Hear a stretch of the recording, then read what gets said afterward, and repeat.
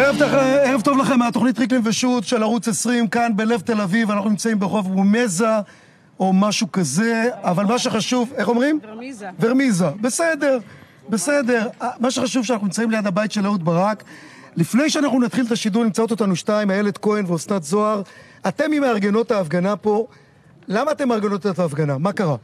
באנו להגיד לאהוד ברק שאנחנו אומרים לו די, די להתערבות הבוטה והגסה שלו, להשליט אה, חוסר סדר במדינה, להשליט כאוס, האנרכיה שמשתוללת ברחובות, אנחנו חושבים שהוא אחראי הישיר לה, הוא גם אמר בפיו שהוא מממן את הפגנת הדגלים השחורים. אה, אנחנו גם יודעים שהכספים, ש... כמו שכולם יודעים, אפשטיין, חבר של אפשטיין, לא צריכה לספר, קרן וקסנר, שעד היום אנחנו לא יודעים מה זו עבודת מחקר שבגינה הוא קיבל את כל כך הרבה כסף. אנחנו רוצים שהוא יפסיק לנסות להרוס לנו את המדינה. אסנת. תראה, במגדל השן פה למעלה גר אה, ראש ממשלה לשעבר, שר ביטחון לשעבר, רמטכ"ל לשעבר, בן אדם שיודע את כל סודות המדינה שלנו, והוא מתרועע עם פדופילים. זה הסיפור. עכשיו, הוא, מג- לא רק שהוא מתרועע, איך את מסבירה את זה שהתקשורת שותקת על זה? נו מה, איך אתה אוהב להגיד, אה, ריקלין, צרצרים? צרצרים. אז צרצרים, זה הסיפור. חבר'ה, תודה לכם, אנחנו תכף נחזור אליכם. נמצא איתנו גם איילת עמרם, רן רזניק ועוד הרבה אורחים. בתוכנית של ריקלין ושות' אנחנו עוקבים אחרי האירועים מדי פעם. אתמול היינו ליד שגרירות סין, היום אנחנו נמצאים ליד הבית של אהוד ברק, עם מחאה של אנשים מהימין שמוחים על כך שאהוד ברק חשוד לכאורה בהרבה דברים.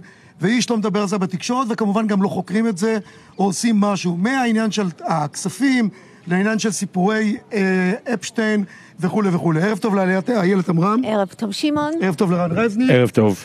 אה, איילת, מה דעתך פה על ההפגנה הזאת?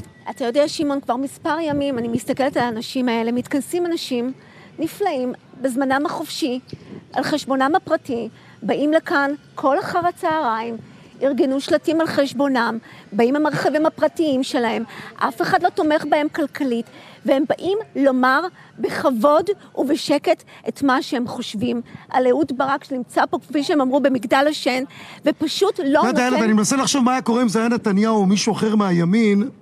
אני בטוח שהיו פה עוד ערוצי תקשורת מעוד מקומות, אבל איך אה, אמרה נעמי שמר? כיכר העיר ריקה. כלומר, יש פה אנשים טובים שאכפת להם אה, ממדינת ישראל, והם אזרחים טובים, אבל אין פה אף כלי תקשורת. למה? זה ברור לי לחלוטין. לא באמת? יהיה, בוודאי, משום שלא יהיה כלי תקשורת, אף אחד חוץ מערוץ 20 שנמצא פה, כי זה לא באינטרס שלהם. זה לא משרת את מה שהם רוצים להשיג. את רוצה להגיד אתה- לי שהתקשורת היום רק מייצגת אג'נדה ולא מנסה להגיד לצופים שלהם מה קורה באמת? אני לחלוטין בתחום הזה, ללא ספק. אתה יודע מה, שמעון? אם זה היה בנימין נתניהו, עזוב, לא בנימין נתניהו, מישהו מהימין. הם כבר היו בכל העולם, נפגשים עם כל אלה שטענו, לכאורה, ליחסי מין עם אהוד ברק. אתה לא שומע כלום, אף אחד לא עושה כלום. איפה ארגוני הנשים? תראי, איפה... צריך, צריך להגיד שפורסם, נדמה לי, הוושינגטון, הניו יורק פוסט, או איזה עיתון, אמנם לא עיתון מוביל בארצות הברית, פרסם שיש אתר הימורים, שזה הדהים אותי, אני חייב להגיד לך, יש אתרי הימורים שמהמרים על כל דבר, מתי היום הר- הראשון שירד גשם ומתי ברד. אז יש אה, הימור, מתי הגברת מקסוול אה, תחשוף את מי, ומספר שתיים בהימורים שהיא תפיל זה... לחלוטין. תקשיב, את מי? לא שמעתי. אה, תודה, לא שכחתי את השם. תקשיב, תודה, כן. זה, זה, אתה יודע, כאחת שחיה על הקו הזה של ישראל לארה"ב, אני רוצה להגיד לך שזה מדהים אותי, עכשיו נוגעים בסיפור הזה לא פעם ולא פעמיים. יש אה, ערוצי תקשורת שמדברים על זה, מנהלים דו-שיח בנושא הזה. למה אסור בישראל- לדבר על זה? אני לא יודע מה קורה באמת שם, אבל למה אסור לדבר בכלל על הסיפור? כי אהוד ברק מממן את הדגלים השחורים לכאורה. בוודאי, איזו ו- שאלה. זה הסיבה? לא, לא, לא, זה מכלול של דברים. קודם כל, זה לא באג'נדה של ארגוני הנשים בישראל לטפל בנושא הזה. הבאת בוא נתחיל. מזה. איפה באמת ארגוני הנשים? איפה באמת ארגוני הנשים? בוא נשאל את האנשים. אני יודעת שאנחנו... קיבלתם תמיכה מארגוני הנשים? שום מילה לא דיברו איתכם? מוזר. אני יודעת שאנחנו ניסינו לפנות, קפריסין, הם טסו לקפריסין. מעניין. אני יודעת שאנחנו ניסינו לפנות ולבקש מארגוני נשים לב- לב- לבוא ולדבר איתנו על הנושא הזה, ואף אחת לא נהנתה. יש פה קשר שתיקה מכוון, וזה כחוט השני בכל התחומים, אם זה בנושא של ארגוני הנשים, אם זה בנושא של הדגלים השחורים, אם זה בנושא של קרן וקסנר, כולם שותקים, לכולם יש אינטרס לא להעיר את הסיפור הזה, ואתה יודע מה? בזכות האנשים האלה שמגיעים, וכל יום אם הם לא היו, לא היינו פה. לא היינו פה, בוודאי, וכל יום נכון. מתווסף ועוד אחד ועוד אחד ועוד אחד. ואני אומרת לך, אנחנו נמשיך לראות אותם ממשיכים בפעולות תגידי, האלה. איילת, את נמצאת גם על הקו של ארה"ב ישראל. האם בארצות הברית היה עובר כזה דבר, אה, החרשה, השתקה, הנדסת תודעה כזאת, כמו שקורה בישראל? אני אגיד לך, הייתי, עד, לפני מספר חודשים הייתי אומרת לך, אין מצב. הסנאט ובית הנבחרים לא מוותרים על שום דבר, אם זה רפובליקני, אם זה דמוקרטי, ולבדוק אין לעומק את. הדברים. אין חוכמות אצלם. אתה רואה היום, בחודשים האחרונים, בגלל הגל העכור, הפרוגרסיבי, הרדיקלי, השמאלני ששטף את ארצות הברית, אתה רואה איזה shift, איזשהו שינוי. יחד עם זאת, דבר כזה, בחומרה שלו, לא היה עובר בארצות הברית. חשבתי שתשאלי אותי מה זה הפירות האלה, הרי אנחנו לא נמצאים בט"ו בשבט. נכון. ואתם שמתם לי, לנו, מה זה הפירות האלה? אפשר לדעת ששמתם לי פה? איזה שכנים? של מי? השכנים שמו לכם פה את הפירות האלה? אוקיי, אפשר לאכול מזה? טוב, תודה רבה. אה, ערב טוב לרן רזניק. אהלן, ערב טוב. אתה מאשר מבחינת קורונה את המחאה שקורית פה? התקלת אותי. אה, כי אתה בעצמך בלי מסכה. אני בעצם במשחק, גם אתה בלי מסכה. לא, אני זה משהו אחר. למה אתה משהו אחר? כי אתה מיוחד, כי אתה מיוחד, כן. כן. כי אתה מיוחד, אה, יחיד- יחיד ומיוחד. אוקיי, תודה, אם אה, אתה אומר. תעזוב אותי מלאשר או לא לאשר. צריך אוקיי, מרחקים לו וכולי, לא נרד מזה. בוא נפתח את השידור, בזה שאתה רוצה להתנצל לפניי. תמיד, שבס- שבסוף תמיד. צדקתי בזה שאכן מספר הנדבקים. עולה, אבל מספר החולים לא עולה באופן, אה, בהתאמה. האקספוננט הידוע נעלם, וקורה משהו עם הנגיף. אנחנו לא יודעים אם זה בגלל הקיץ, האם זה בגלל שהוא נחלש בהכפלה, האם בגלל שהמבוגרים שומרים על עצמם יותר, קורה משהו שמחליש אותו. מוכן, מותר להגיד את זה?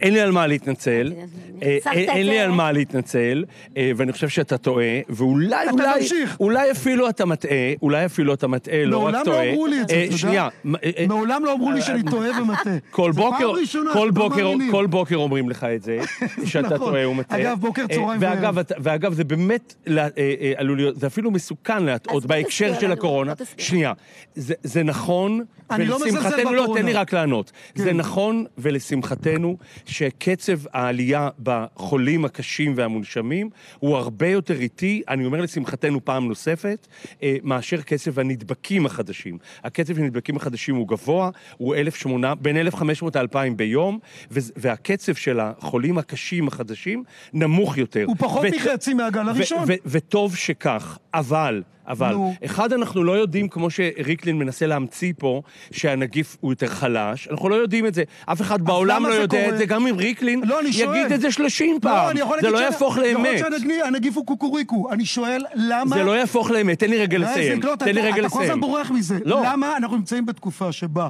יש הרבה יותר נדבקים ופחות מחצי או שליש מהחולים או החולים קשה בפעם הראשונה? זו עובדה, זה מספרים. אז תן לי לענות. בבקשה. אפשר לנסות להסביר את זה במה שגם רמזת עליו, בש, בשינוי ההתנהגות שלנו. למשל, שהאנשים שמועדים לפורענות בקורונה, ש, שחולים הרבה יותר קשה כשהם נדבקים בקורונה, המבוגרים והקשישים, מגנים על עצמם עכשיו הרבה יותר אתה מקודם. קונה את זה? אה, כן. אני בטח. מסתובב... אתה מדבר ב- על קבוצת בטח. המבוגרים. בטח שאני קונה את זה. האוכלוסייה ברור אפילו פה. מסביבנו יש מבוגרים, לא, לא, מבוגרים. לא, לא. רוב המבוגרים, ואנחנו מדברים על המסות הגדולות, יותר מג, מגנים על עצמם, וכנראה שזה אפילו גם בעולם. זה הסבר אחד. הסבר אחר, עוד אין. עוד אין הסבר אחר. או, זאת אומרת, יכול להיות שאנחנו לא יודעים... הרי הדבר הכי בולט לגבי הקורונה, רן רזניק, אוקיי. פרשן בכיר של ישראל היום, נו. שמדי פעם גם משחק אותה ולפעמים לא, נו. שהוא מתווכח איתי, נו. זה שאנחנו עוקבים בהשתאות אחרי נגיף שעימם את העולם. עם כל המחקרים, מאמץ עולמי, אנחנו לא באמת יודעים להגיד היום הרבה יותר דברים ממה שידענו לפני זה, והנגיף משתנה אולי יותר מהר מהתפיסות שלנו עליו. ולא רק זה, הסימפטומים שלו הם כל פעם שונים, הם משתנים, אי אפשר לקבוע דברים נכון? ברורים. שנייה. אה, כן, אנחנו... ככל שאנחנו מגלים יותר על אמרת הקורונה... רק כן או לא כן? לא, לך קשה לי. שמעון ככל שאנחנו... זה מדהים. ככל שאנחנו מגלים, יודעים יותר על הנגיף, אנחנו גם יודעים שאנחנו יודעים עליו פחות. זה עניין עולמי, זה לא רק בכלל זה דבר עניין... מדהים. זה לא רק עניין ישראלי. ואתה יודע, בתחילת המגפה אמר אה, משה בר סימן טוב, כולם זוכרים את השם משה בר סימן טוב. ברסי. אה, ברסי, מנכ"ל משרד הבריאות, שבמאבק בקורונה אנחנו הולכים עם עיניים קשורות בתוך שדה מוקשים. אז, אה, אז אנחנו עדיין בעיניים קשורות, ואנחנו עדיין בשדה- בשדה מוקשים. יותר ואנחנו- מרווח, יותר נכון, מרווח. נכון, אבל במוקשים. נכון. אוקיי. אבל, אה, זה לא שפעת עם יחסי ציבור, קורונה היא מחלה ארורה. לחלוטין. אבל... אבל- והעובדה. שהוזכר פה שאנחנו מגלים כל הזמן יותר ויותר אה, סימנים אה, ותופעות של הקורונה, גם לאנשים שכביכול החלימו מהקורונה, מראה כמה אה, הת- התופעה כמה הזאת, אנחנו לא כמה יודעים. אנחנו לא יודעים, לא, וכמה היא קשה כמה היא ומסוכנת, קשה וכמה היא- לא שפעת. תגיד, רן. וכמה המפלגה של. פרופסור יורם. לס היא מסוכנת, אבל זה אולי דיון אחר. זה בהחלט אה, נושא לדיון, נכון. בכל אופן, בהחלט. אה, שאלה, מה דעתך על כל הנושא הזה של הפגנות בחוץ? אנחנו רואים את הטירוף מערכות, אנשים לא חובשים מסכות, בניגוד אולי למה שאנחנו רואים פה, שאנשים דרך אגב כל שומרים השבוע, על כל מרחק, הזמן, אני רואה את התמונות. שמעלים. חבר'ה פה בכל מדהימים. אופן, מה אוקיי. דעתך? אוקיי, אבל שני דברים אני אגיד על זה. ראשית, של אה, קהלים בחוץ צפופים, זה דבר מסוכן לקורונה, וגם לכן משרד הבריאות מתנגד, אבל זה לא עוזר לו, לחופי הים. הוא מתנגד, הוא מתנגד לחופי הים לא בגלל הרחצה בים, אלא בגלל מה שקורה על החוף. אז לכן זה מסוכן, אבל, אני מדבר מסוכן הפגנות, כן, אבל. אבל... אין ספק, וזה כולם יודעים, שמאל וימין וישראל וארצות הברית, שבחוץ זה הרבה הרבה הרבה פחות מסוכן מבפנים. תסביר לי. אז יש פה שאלה. החוץ יש פחות כאלה מסוכן. שיגידו... ולכן בארצות רגע, הברית, שנייה, את הזכרת את ארצות הברית כי היית? על הקו, נכון? אני יודעת. לכן עדיין על הקו. בארצות הברית יש- יש אה, יש מקומות שפתחו מסעדות רק בחוץ, ולא בפנים, מההתחלה אז רק תסביר לי את בחוץ. החלטת הממשלה שרצתה לסגור הכול, ואז בא... מסעדות, בא- אתה מתכוון. מסעדות, לא. בכלל. גם חדרי כושר, ו- ועוד הרבה דברים. ואז יש מחלוקת, הרי עיקר ההדבקה היא בבית. ואז חלק מהאנשים אמרו, אז אל תהיו בבית, להפך, תצאו החוצה. אנשים אמרו, לא, בחוץ אתה לוקח את הנגיף, ובבית אתה מדביק שם את כולם. אבל כשאתה אומר בחוץ, אתה לוקח את הנגיף, אתה מתכוון בחוץ בחוץ, או בתוך מבנים בחוץ, בחדרי כושר, תגיד לי אולמות. אתה, אתה המומחה. קודם כל, אני לא מומחה לאפידמיולוגיה, אני, אני עיתונאי, ואני לא רוצה להגיד בסך הכל עיתונאי, אבל עיתונאי, אז אני לא מומחה לאפידמיולוגיה. על פי כל הנתונים של ישראל ושל העולם, במקומות סגורים עם הרבה אנשים, נדבקים בקורונה, והסיכוי לכך הרבה יותר גדול. אז למה סוגרים את חוף הים? אז תפתחו את חוף הים, תשאירו אותו פתוח. אני מסעדות אסביר בחוץ, לך תשאירו. למה, אני אסביר לך למה. קודם כל לא סוגרים, הצליחו לא לסגור, גם לא אפילו בסופי שבוע, מפני, ש, מפני שאם תראה את האנשים, וזה בכלל לא רק עניין ישראלי, לא לפני כמה שבועות כל העיתונים ב, ב, באנגליה, בלונדון, הם מלאים בתמונות של חופי הים באנגליה. כשאנשים יושבים מחוץ לים, הם צפופים, תסתכל פה בתמונות רזניק, יכול להיות שאנחנו בתל אביב. מגזימים? מי זה אנחנו? אנחנו זה מדינת ישראל והעולם, לא, לא. שמתייחסים על הגל הראשון, שבאמת היה חמור והיה צריך להיזהר, ועכשיו לפחות בקיץ, אני לא יודע מה יקרה בחורף. יכול להיות שהנגיף שוב יצבור תאוצה וכוח, כי שמעתי מאיזה רופא שיש משוואה, ככל שהנגיף יותר קליל בתנופה, הוא יותר ויראלי, הוא פחות כבד בהדבקה. אתה אני לא מקבל את זה? לא. אף, אף רופא רציני, לא, לדעתי, לא יעז להגיד את זה דרך. אגב, ריקלין, רק שתדע, אולי רופא בארצות שדיברת, איתו רציני. אף רופא רציני שאני מכיר לא יעז להגיד את זה. סגרו בארצות הברית, בקליפורניה, סן דייגו. נכון. סגרו את כל החופים. בטח, לא מאפשרים בטח, יותר בטח, לצאת החוצה. בטח. אתה יודע, קליפורניה זה לא תל אביב, אין שם נתניהו? נכון? שנייה, שנייה. נכון. ובאמת בקליפורניה. בכל אופן, מקום שאנחנו עד הקורונה נשאנו אליו עיניים. לוס אנג'לס, סן פרנסיסקו, ושם סוגרים את הכל לא מחדש. נושאים עיניים לארצות הברית כבר הרבה זמן, ארצות בטוח, הברית... לא לא נושאים עיניים? ארצות הברית זה לא לא, מה שהיה פעם. נושאים עיניים. התשתיות על הפנים, מי שטס לניו יורק. אני חושב שאם תשאל את הישראלים, הם נושאים עיניים לארצות הברית, לא? תלוי- איזה ישראלי, תלוי איזה. לא, לא ריקלין, לא ריקלין. תלוי איזה. ישראלים אה, אחרים. תלוי איזה. ארצות הברית זה לא מה שהיה אם אפשר פעם. עוד בשנייה לשאול, לפני ש... אה, שמעתי היום על נושא של החיסון, שזה ממש, גם אוקספורד וגם בארצות הברית יש... את יכולה להגיד. שוב? איך אמרת? היא אמרה את זה? יפה. זה היה מצוין. אגב, אתה יודע, הייתי באוקספורד. גם אני? כמה זמן אתה היית? יומיים. הייתי יותר, לא משנה. טוב. אני לא אגיד בכמה. כן, מה שמעתי השאלה? שיש התקדמות מאוד מאוד כן. גדולה בפיתוח. נכון, בחיסון. יש התקדמות, אבל, אבל כל המדענים אומרים, אה, בכל חברות התרופות ובאוקספורד ובמכוני המחקר, שזה, שזה, יש התקדמות משמחת, אבל זה עוד רחוק. וזה לא הולך להיות לחורף הקרוב. רן רזניק, הפרשן הבכיר של ישראל היום. תודה רבה לך. תודה, תל"ן ערב תביא. לנו בשורה של איזה חיסון פעם הבאה. אמן. אתה. יכול לקחת את זה, תן את זה ל... ל... לא, להשאיר את זה? להשאיר. אה, אוקיי, איקי אומר להשאיר. תודה רבה, רן. תודה. אה, להתראות. איילת, כן. לא הבנתי, מה שאת אומרת בעצם שארצות הברית המצב יותר קשה מפה.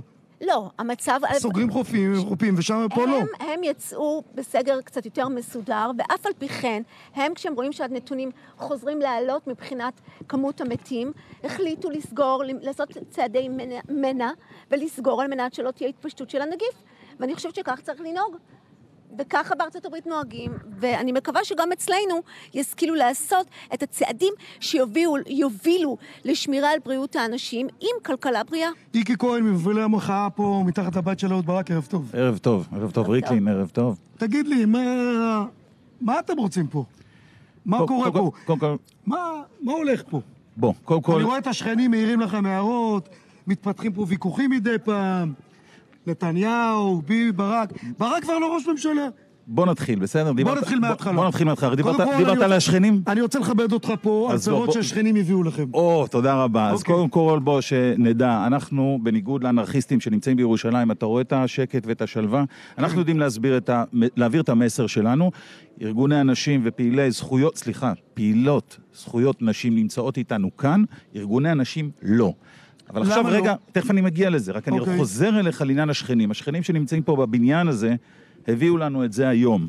זה, אני חושב, יותר מהכל מהווה הודעת תמיכה והבעת תמיכה ואהדה למה שאנחנו עושים פה, ולכבוד הגדול שהם רוכשים לנו ואנחנו רוכשים להם.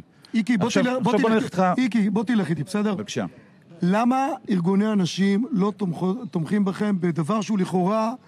מתחייב, מתבקש. סליחה, לא מתבקש- קרה כלום. גם מתבקש שהעפתי לך את המים. לא קרה כלום. עם מזל הקרב. אז עם מזל מים, אז בסדר.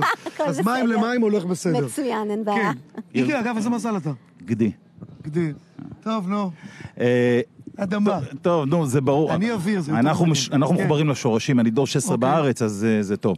תשמע, אני אגיד לך משהו. לא הייתה לי ציפייה שארגוני הנשים יבואו לפה, זה היה ברור לגמרי, מכיוון שאנחנו יודעים שאם, אם היה חס וחלילה נדבק טיפת רבב, ויש לך חבר כזה, שלכאורה נדבק בו טיפת רבב, ארגוני הנשים היו יושבים לו על הבית 24 שעות. יושבים לו על. הבית, שורפים פה את הרחובות של שורפים את המדינה. הרחובות, יפה. בן אדם, שורפים פה את המשטר. פה לא תמר זנדברג, לא, לא? אה, לא, איך קוראים לה? זהבה, אה, גלאון.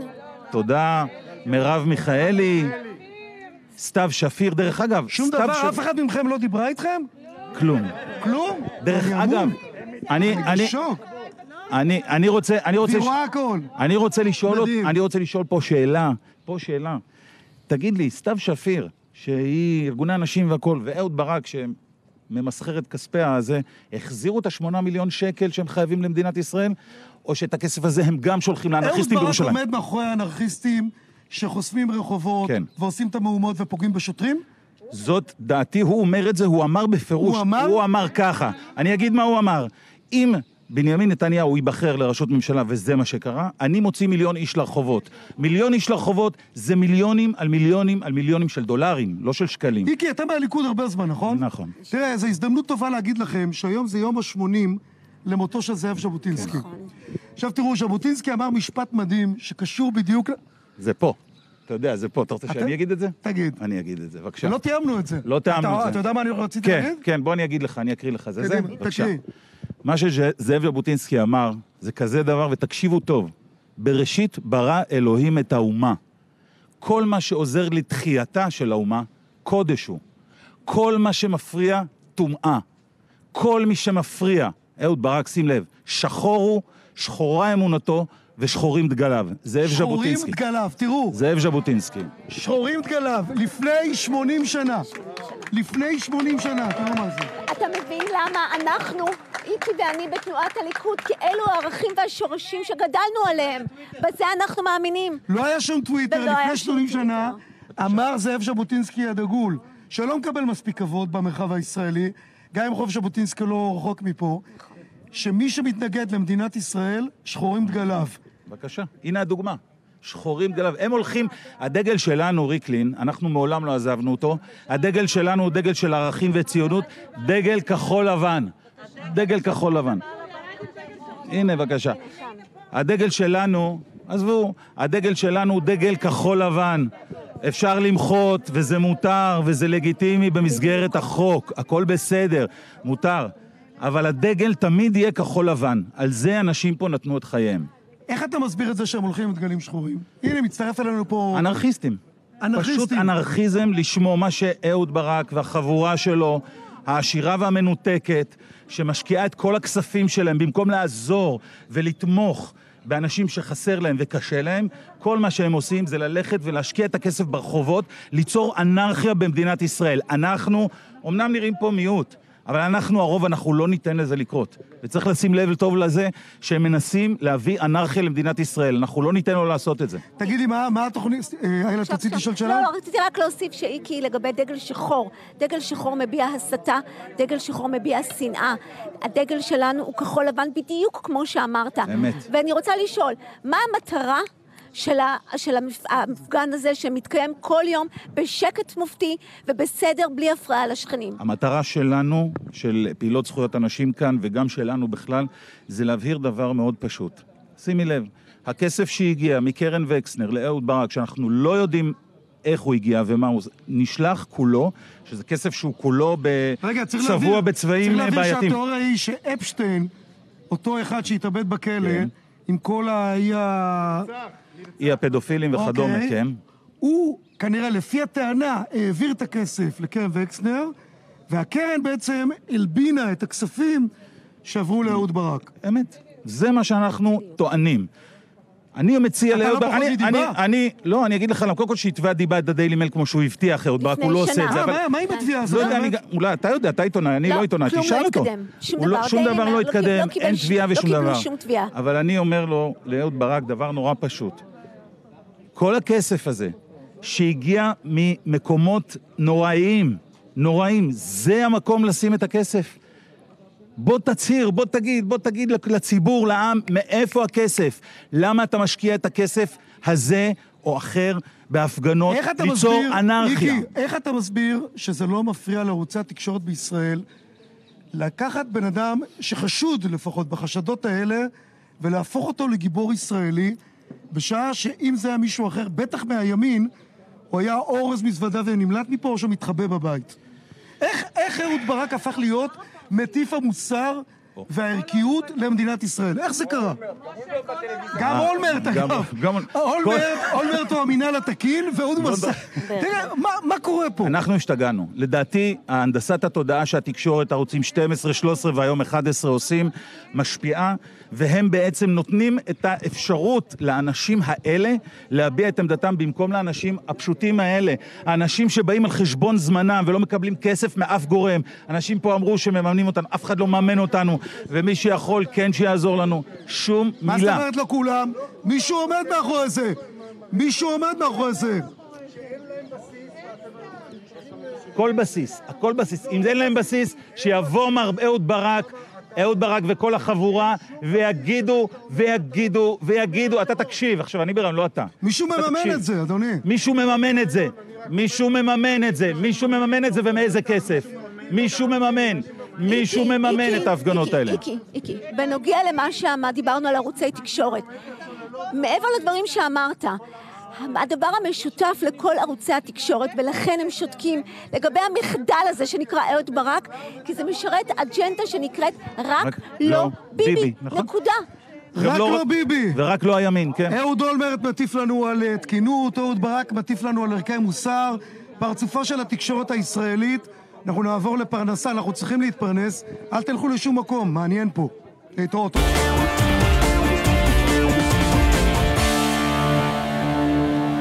אה, חזרנו אליכם, אנחנו כאן ברחוב רמזה, בלב תל אביב, ליד הבית של אהוד ברק. הפגנה של אה, אנשים מהימין שמוחים, וגם נציגי נשים שמוחים נגד אהוד ברק עם כל הסיפורים סביבו. שמעון, לפני שאתה פונה לארז, ארז צדוק. כן, אני רק מזכירה, רק אומרת לך, אתה שמת לב שאתה מוקף בתימנים סביבך? מה? כן. שניכם תימנים? שנינו תימנים, כן. האמת שאני מת על תימנים, אבל בסדר, נו, אנחנו לא יודעים, משנה. אנחנו יודעים. יאללה, ערב- טוב. אהלן, סדוק. ערב טוב. אתה בעצמך טבעת את אהוד ברק. נכון. מה טבעת את אהוד ברק? בוא רגע נתחיל, אני רוצה שנייה לפני מה שטבעתי אותו, להתחיל ממה שאיקי אה, אמר. איקי דיבר על זה שהכספים של אפשטיין עברו דרך קרן וקסנר לאהוד ברק. צלם, צלם, צלם גם מה שקורה שם. כן, אתה יכול לדבר, תמשיך לדבר. כן. בוא נדבר על עובדות רגע, בסדר? כן. אה, אפשטיין מעביר בשנת 2001 כספים לקרן וקסנר. אפשטיין ממונה לנאמן של הקרן ולנשיא של הקרן, והוא חתום על חלק מהעברות הכספים לאהוד ברק בעצמו בחתימת ידו. אלה העובדות, אוקיי? אלה העובדות, קודם כל. אוקיי. עכשיו, מה אני אמרתי? אני אמרתי דבר מאוד פשוט. הגשתי תלונה ל... להב 433, יל"ק, אה, אה, יח"א שנה אנחנו וכולי. מדברים?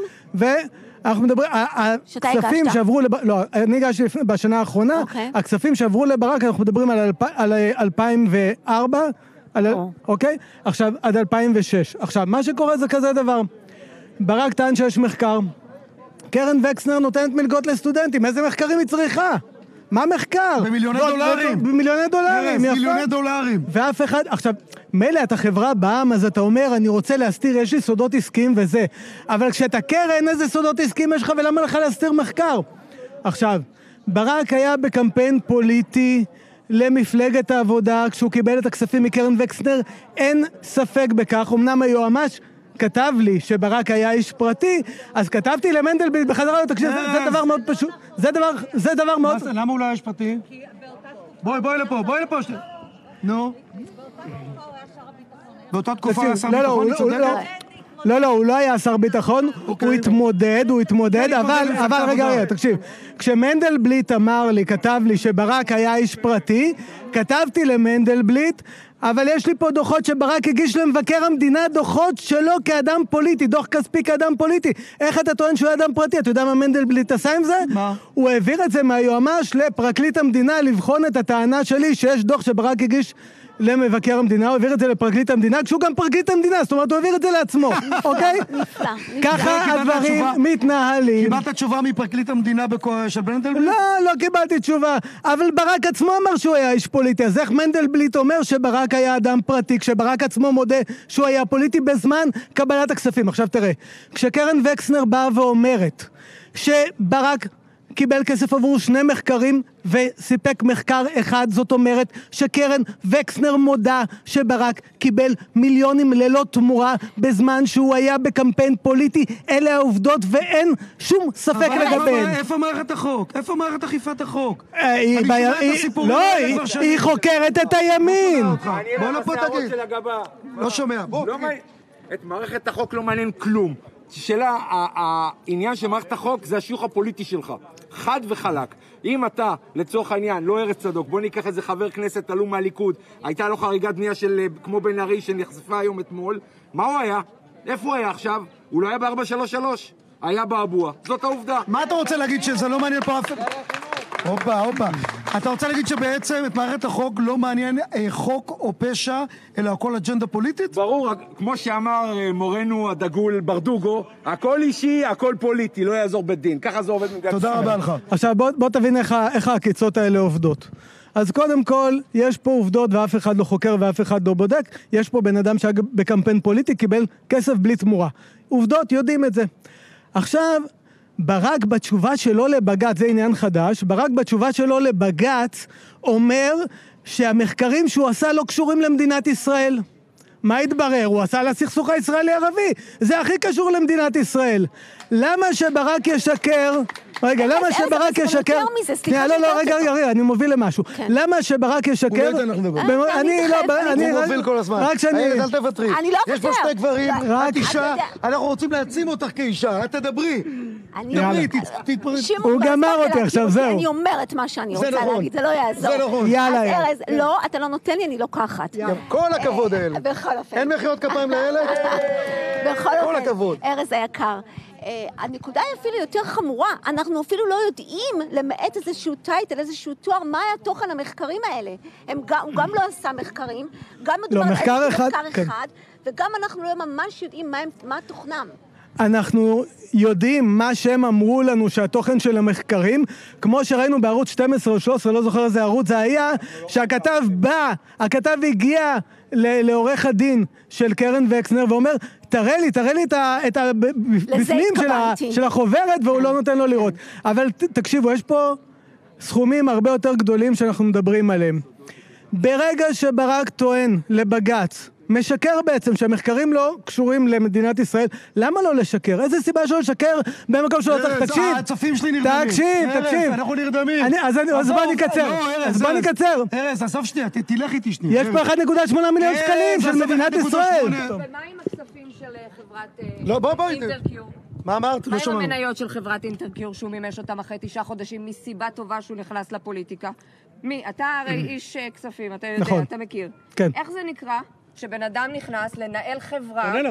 כן. בן אדם נכנס לנהל חברה, מקבל מניות, ופוף, בואי, תוך כמה בואי. חודשים הוא. פשוט מממש אותם. זה, יכ- זה, שוב, איך? זה יכול להיות... עכשיו עזוב את זה.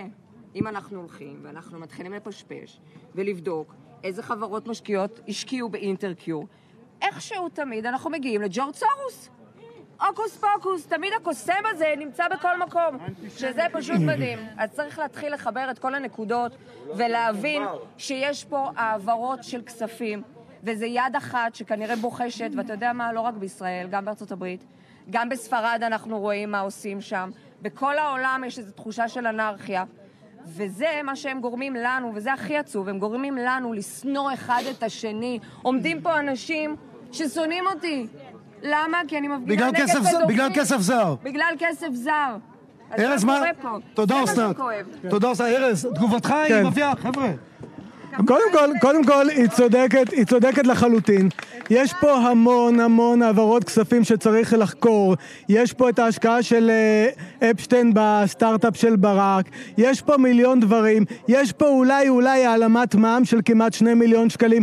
יש פה הרבה דברים שצריך לחקור, אבל מה? החוקרים נמצאים בסיקור האוהד של אה, בנימין? נתניהו. כמו שאראל סגל אומר, מי שומר על עוגת השמרים כן? של ריקלין. עכשיו, אני אמרתי, תקשיב, אני כבר... נכון, של ריקלין. אני כבר שנה אומר, אני גם יודע איפה אתה אוכל אותה ועם איזה קפה. אני כבר, לא, אני לא מגלה. אני לא מגלה, אני לא מגלה. לא, אני לא מגלה. לי. אני לא מגלה, אבל רק בתנאי שתתנהג יפה עד סוף הראיון אה, ותשאיר אותי פה. תשמע, אני כבר שנה אומר למשטרה, תקשיבו, לחקור את העניין הזה, זה הכי פשוט? בעולם. אתה אומר למשטרה ואתה אומר ליועמ"ש, נכון. אני לא רוצה להגיד פה מה הם שמים עלינו. מה, לסיום, מה עושים כדי להזיז? מגישים בג"ץ? מה עושים שמישהו יתחיל להזיז את עצמו לעשות משהו? הגישו בג"ץ, הליכוד הגיש בג"ץ באמצעות עורך דין מיכאל דבורין אה, לחקור את העניין. אני הגשתי תלונה מחדש למשטרה אחרי שקרן וקסנר הודתה שברק קיבל כסף בלי תמורה, הגשתי תלונה חדשה למשטרה. מה שצריך לעשות זה מה שהאנשים האלה עושים. כל אלה. מה שהם עושים, להפגין, לא לוותר עד שהמשטרה והיועמ"ש, את היועמ"ש הזה צריך לסלק, הוא לא ראוי, אבל ארז צדוק. להפגין, לעשות רעש, לא נתת לוותר, לא לוותר, אנחנו עד... מאוד כועסים עליך. לא, לא. אבל תודה רבה לך על דברים אבל אני. לא מגלה שום דבר אני על לא עוגת שמרים. אני גם אסור להגיד את המילה תימני. אני לא מסכסך ביניכם. בסדר גמור. פרנסה, אל תלכו לשום מקום, אנחנו מיד נחזור אליכם. להתראות.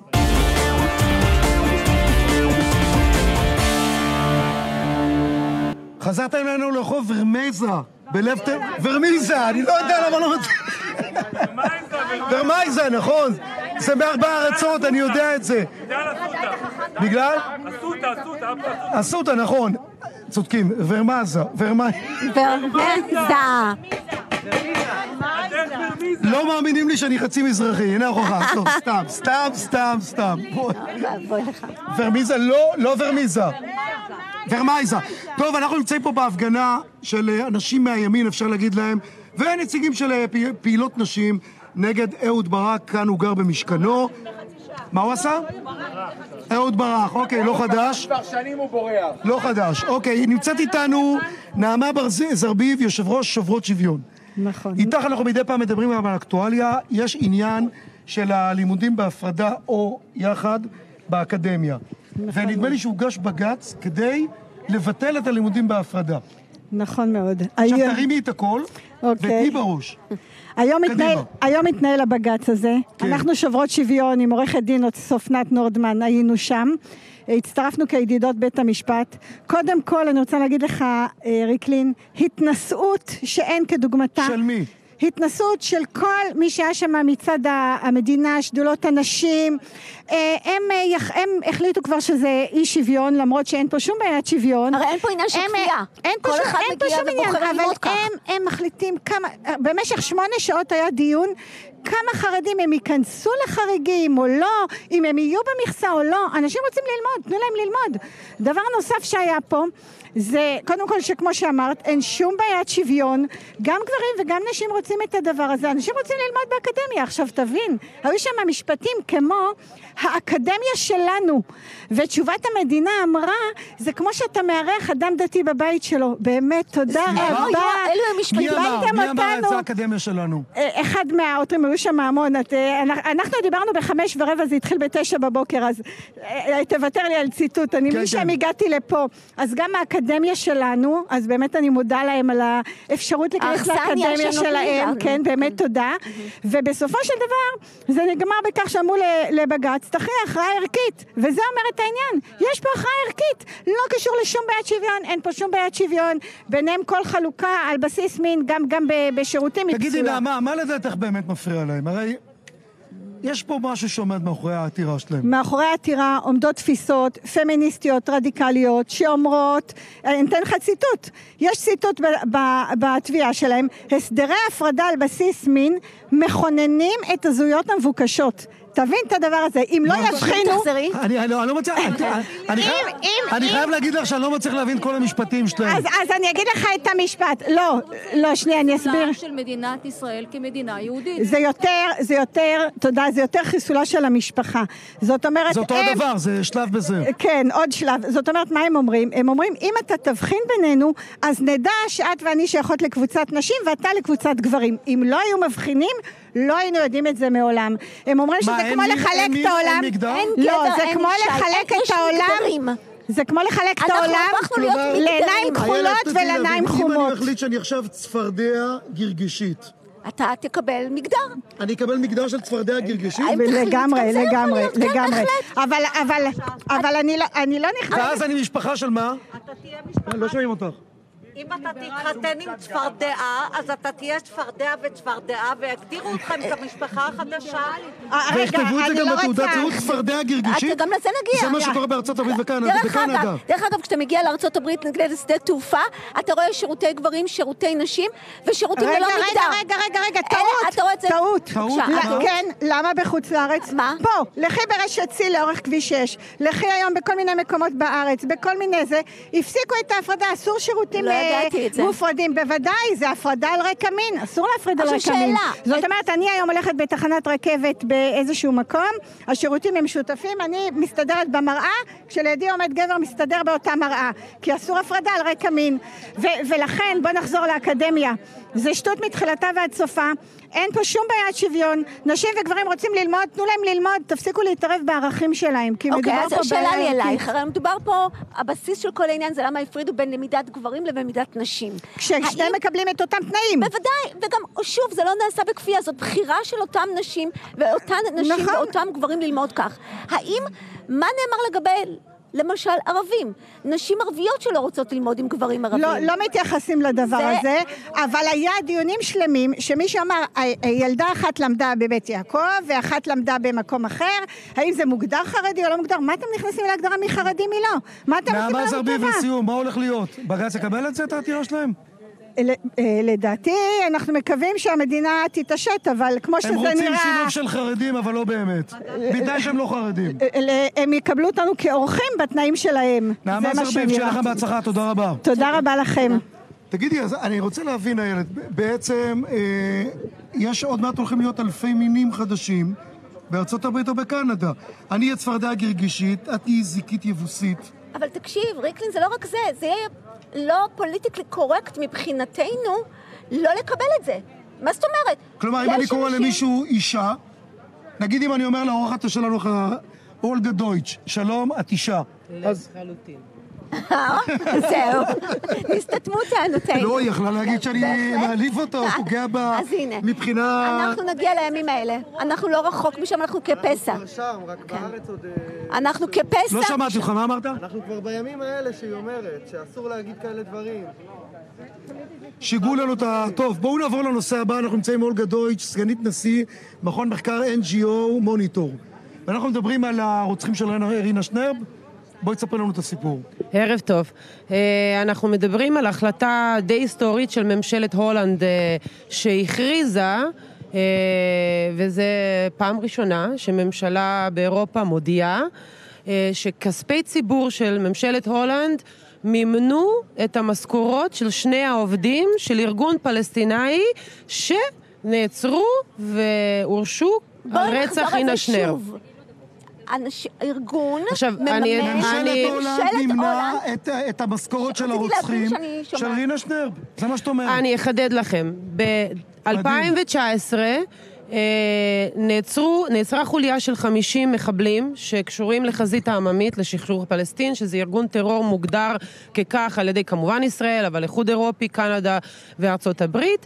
חמישה מתוך החמישים אה, עבדו במשרות בכירות בלפחות שלושה ארגונים פלסטינאים שמגדירים את עצמם כארגוני זכויות אדם וארגוני סיוע הומניטרי, שמזה שנים נהנים מתמיכה כספית, אבל לא רק, אה, של ממשלות אה, באירופה בעיקר.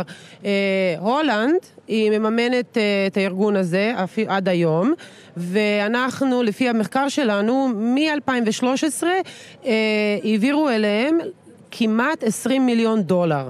הולנד התנצלה? אה, זה לא בא בתור התנצלות, הם בהתחלה הת- הכחישו כל יכולת, אפשרות, חשש שדבר כזה יכול בכלל אה, להיות, אה, אבל לא להפחית מההצהרה שאנחנו מדברים עליה, הם הקפיאו את המימון והכריזו, הודיעו שיפתחו בחקירה. תגידי, אז- אולגה, איזה מדינה אנחנו? איך הולנד, שהיא נחשבת ידידה שלנו, שהצילה לכאורה יהודים בשואה, מממנת רוצחים... בואי שנייה, בואי שנייה, בואי לפה, ניר. למה את אומרת שזה לא נכון? כי היו הוכחות שהם הם, אה, התנהגו מאוד לא יפה אה, ליהודים, והם לא הצילו אותם, והם הסגירו יהודים. זה לא בדיוק מה שאתה חושב, זה לא... הגזמנו. הגזמנו, בדיוק. אוקיי, לכאורה. תראו, אני, אירופאית. את אירופאית, תנו, אוקיי. תנו לי לא, את- לנסות... את גירגישית, נו. אני גירגישית. תנו לי... עמותות. אני רוצה להגיד, יש את אחריות לאומית שאחראית לכל ההפגנה הזאת של הדגלים השחורים, שזה ברק בעצם, וכולם חייבים לדעת ולזכור שאת אחריות לאומית מימן אפשטיין לפני מותו. אחריות לאומית היא של אפשטיין, זה כספים של אפשטיין, ועוד דבר שאף אחד לא מדבר עליו, ביומן של אפשטיין מצאו את אהוד ברק מסומן בעיגול שחור. עיגול שחור זה אומר שהוא היה עד ל... עד לסר- לסרסור שעשה אפשטיין, ואף אחד לא מדבר על זה, ואף אחד לא... חשוב מאוד. תודה, חשוב מאוד. בואי תראו. ת- תסתכלי אולגה לסיום. זה לא בעיה שממשלה או כל גוף אחר מממן גם עמותה. הרי בואו לא נתבלבל. כל רוצחים? ארגון... אבל כל, רוצחים? רגע, שנייה. כל ארגון הוא ארגון פוליטי. אוקיי. כל נושא היום הוא נושא פוליטי. נכון. הבעיה היא כשלא עושים את זה בצורה שקופה, וכשלא לוקחים אחריות כשיש בעיה. אולגה דויטש, אה, סגנית נשיא מכון מחקר ה-NGO, חשוב מאוד, כל הכבוד. אני מקווה שלא תהפכי לצפרדע גירגישית.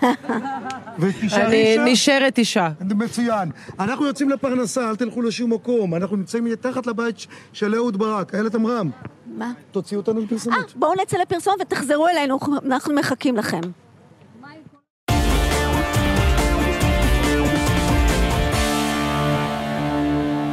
ללב תל אביב, למחאה של חלק מאנשי הימין מול הבית של אהוד ברק. איילת עמרם, רצית לדבר איתי על עוד מחאה שאמורה להיות ביום חמישי הקרוב. ביום ח- איפה? יום חמישי הקרוב בשבע וחצי תתקיים מחאת הימין בבלפור מול בית ראש הממשלה. אנחנו מוחים נגד נתניהו? לא, לא, לא, זאת לא, אה, מח... זאת לא, לא סליחה, זאת. לא, זאת לא מחאה, זאת עצרת תמיכה. תמיכה בראש הממשלה. את תהיי שם? אני אהיה שם, אתה תהיה שם?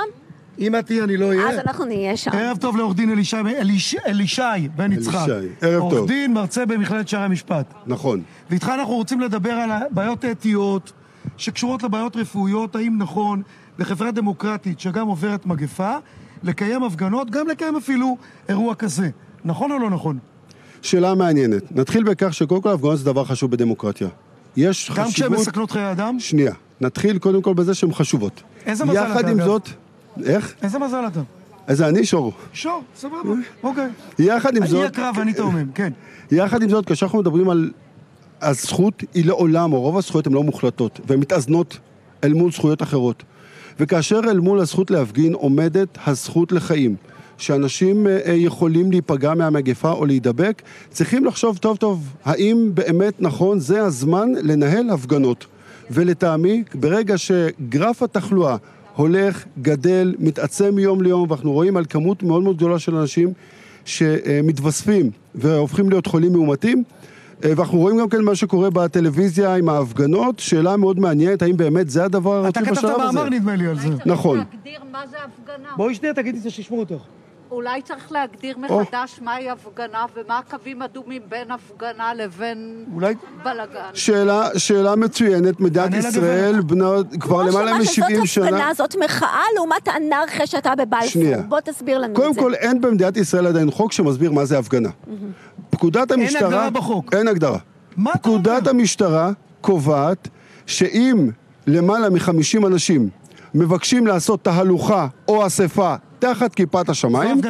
הם צריכים רשות, גם לא כתוב הפגנה. יש תהלוכה, שזה מה שנקרא צעדה, ויש אספה. באספה... אני שואל אותך, מה זה הפגנה? אתה עורך דין, אתה משפטן. אם אתה שואל אותי אם עכשיו אה, שר המשפטים מצלצל לך, אומר לי, אומר לך, תנסח לי בספר החוקים הישראלי את המילה הפגנה. מה אתה כותב? התאספות מעל כמות מסוימת של אנשים, אל תברח. שעניינה אל תברח. להביע אל תברח. האם למה? אדם שעומד בצומת זה נחשב הפגנה? ברמה הפשוטה אפשר להגיד שכן, כי הוא תופס את. השלט והוא מוחה, כן, הוא מוחה. כשאנחנו מדברים על מחאה גדולה אתה חייב עם לקבל את זה אנשים, במספר. אתה לא יכול במשטר דמוקרטי... 50, אני לוקח את זה ל-50 כמו שקיים ל-50. בפקודת אוקיי. המשטרה. אנחנו רוצים להגדיר, צריכים להוציא איזשהו חוק מסודר שיבוא ויגדיר את זה, כרגע אין. המשטרה היום, בהתאם לפקודת המשטרה, יש לה סמכות לאשר או לא לאשר אה, אה, הפגנות. אה, המבחן היחידי שיש זה שלום הציבור. אה, אה, בית המשפט העליון, בפסיקה שלו לאורך השנים, בא ופיתח מתי כן ומתי לא. חוק מסודר שמגדיר לנו מה זה הפגנה, מתי כן, מתי לא, אני רוצה אין. לשאול אותך, מה שאתה ראית בשבועות האחרונים, בעיקר בשבוע האחרון, האם מבחינתך זכות ההפגנה עולה על זכות החיים, או זכות החיים עולה על זכות ההפגנה? תשים לב שהיא ממלכדת אותך, היא לא פראיירית. זכות החיים גוברת, מתוחכמת, זכות... זכות החיים גוברת בוודאי על זכות ההפגנה. כאשר אנחנו מסתכלנו את מה שראינו בטלוויזיה, כשאנחנו ראינו את הסק"שים, את התמונות של הזה, זה נראה כמו איזשהו, בצעירותי, אה, אה, פסטיבל ערד, למי שזוכר. אה, ככה זה נראה, זה נראה כמו איזשהו מחנה, תנועת נוער, והאמת, כשאין מה לעשות והאולמות התרבות סגורים והקולנועים סגורים, אז זה אחלה זמן לצאת להפגנות, לפגוש את החבר'ה. בתקופת קורונה?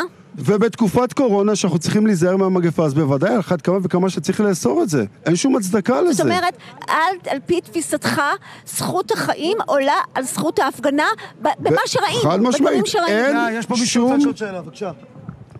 אני שואלת לגבי המאחז בבלפור, זה חוקי? או, שאלה מעניינת, המאחז בבלפור זה מעון רשמי. עכשיו, השאלה היא האם מותר להפגין שם או לא, אבל אני אומר שוב, אה, כרגע אין שום הצדקה לקיים כל הפגנה אם היא לא עומדת בכללים ובמפגני הריחוק. מול אסתר חיות, מול אסתר חיות, לא מאפשרים אפילו לרסס בשל... לבן אדם אחד. זה איש ציבור, תקרא את החוק. הם לא מאפשרים את זה. איך מאפשרים את זה זה מול מעון ראש הממשלה? זה- בג"ץ אסר את זה. זה יפה. בסדר, אז אני אומר שוב, אנחנו כרגע מתנתקים מזה מבחינה מי עקרונית. מקור הסמכות? מי מקור הסמכות? המשטרה. בג"ץ? המשטרה? המשטרה, יש לה את נראה להם המקור שהמשטרה הסמכות. רואה אלפי אנשים, אלף, אלפיים איש, שבאים בלי מסכות, הם מסכנים את כולנו, אומרים לסגור בתי כנסת, והם מתנהגים שם בצורה, תסלח לי, מופקרת. מי מגן עליהם? אתה שואל אותי בתור נציג המשטרה? בתור בן אדם שמומחה בתור בן אדם, אני לא מבין. אין לי מושג למה זה הם מאפשרים את זה. כשאני רואה את זה, משהו אצלי נצבט, לא כל כך ברור לי למה מתירים את זה. לדעתי צריכים לאסור את זה. כשנתוני, כאשר התירו את ההפגנות בסבב הראשון, לא לזה התכוון המשורר. אתה, יודע, אני רק רוצה לה- להסב את תשומת לבכם, את תשומת לבך, שאין מקום בעולם, אני עברתי מדינה-מדינה באירופה ובארצות הברית כמובן זה רק נשיא, אין אפשרות להפגין ברדיוס הקרוב לביתו. הם תוחמים את זה אחורה. ורק אז אפשר להפגין. לא קיים מצב שוב. שעל ראש בית ראש ממשלה יהיה מצור כמו שקיים בארץ בישראל. כשאין הגדרה, אז... כן. מי זו את? רגע, אל ת- אני שמי לימור ואני לא אוהבת להצטלם, אבל אני אוקיי. חייבת לומר דבר אחד. אה, אני הייתי הרבה פעמים בהפגנות אצל מנדלבליט, אנחנו הורחקנו חצי קילומטר. חצי קילומטר מהבית של מנדלבליט. ומדוע המשטרה מאפשרת לשמאל, האנרכיסטי והאלים, ל- לעמוד על הגדר של בנימין נתניהו, לא ברור לי, אלא אם כן מדובר פה בשחיתות. שהיא בדרגים מאוד מאוד השאלה מובנת, לא, היא שואלת אותך- אנחנו- אנחנו אני לא- רוצה להגיד עוד דבר אחד שקרה השבוע, שהימין עמד על הגדר והמשטרה הזיזה את הימין מהגדר של בנימין נתניהו, ראש הממשלה שלנו, שנבחר בבחירות דמוקרטיות, הזיזו אותם מעבר לכביש ושמו שם את השמאלנים. יש כאן שחיתות בדרג הכי גבוה של המשטרה. מה, לא הבנתי, מה את אומרת? לי אין אמון שמי שצריך להגן על חייו שומר עליהם. את חושבת שבנימין נתניהו בסכנת חיים? ודאי, ללא ספק, ללא ספק. חד משמעית. אני רוצה להגיד לך, אני רוצה להגיד לך, הייתי בהפגנה שאלה הזאת. של זמן, שאלה של היא זמן. הייתה כמו הפגנת חמאס, הדבר הכי מפחיד שאי פעם ראיתי בחיים שלי, ואני ברחתי, והם אמרו שהם רוצים להרוג אותו, לעלות על הבסטיליה. טוב, חברים, תודה רבה לכם שהייתם פה. עורך דין אלישע בן יצחק, תודה רבה לך. תודה רבה לכם. איילת אמרה, איך היה לך? היה מעולה, איך לך? אה, היה לי מצוין. אה, החברה, החברה, איך הייתה? החברה פחות, אבל סתם. הייתה מצוינת, זה בסדר. אסור, אוקיי. אה, תודה רבה לכם שהייתם איתנו. אנחנו כרגיל בתוכנית של ריקלין ושות' נהיה במוקדי העניין עם ערוץ 20 בכל מקום בארץ. תכף ליטל שמש, ליטל נדמה לי נמצאת עכשיו בחדרה. אני לא יודע מה, ליטל, מה את עושה בחדרה?